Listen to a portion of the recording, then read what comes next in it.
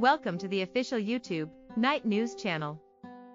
Costco shoppers, don't make these 7 costly mistakes. Costco is one of America's favorite places to shop. The chain recently earned second place among national grocery stores in the annual Retailer Preference Index from consumer data firm Dunnhumby. That's pretty impressive, considering you typically need to purchase a membership to shop at Costco, a basic version of which costs $60 a year.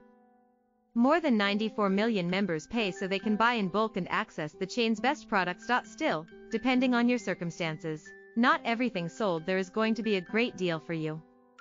Here are 7 mistakes to avoid next time you're shopping at Costco to maximize your savings. Thank you for watching.